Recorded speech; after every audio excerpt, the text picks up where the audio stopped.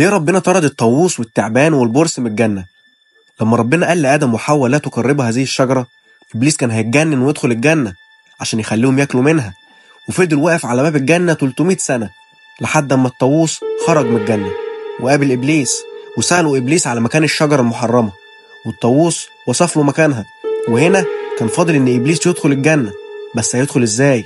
لحد أما خرج التعبان من الجنة وقابل إبليس واتفق مع إبليس إنه هيدخله الجنة. وبلع التعبان إبليس ووصله لحد الشجرة المحرمة وخرج. ومن ساعتها الطاووس والتعبان ما دخلوش الجنة تاني. وممنوعين من دخولها. ونفذ إبليس خطته وخرج آدم وحواء من الجنة. طب البرص بقى مطرود من الجنة ليه؟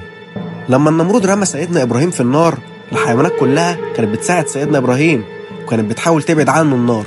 فكانت بتنفخ في النار عشان تبعدها. ما عدا البرص الرسول قال إنه كان بينفخ النار على سيدنا إبراهيم. عشان كده البرص كمان ممنوع من دخول الجنة. وكمان أمرنا الرسول بقتله ولو قتلناه من ضربة واحدة لينا 100 حسنة. خدت بالك؟